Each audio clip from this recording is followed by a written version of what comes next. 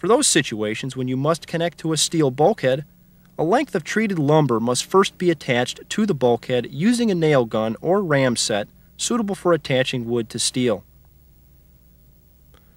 Begin by positioning the first section of lumber, referred to as a header board, in the desired location, being certain that there are no seafloor obstructions which would prohibit the tide manager pole from being installed properly.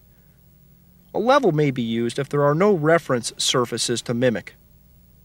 Secure the header board with several nails using the nail gun, being sure to locate the nails towards the center of the header board to prevent the wood from cracking.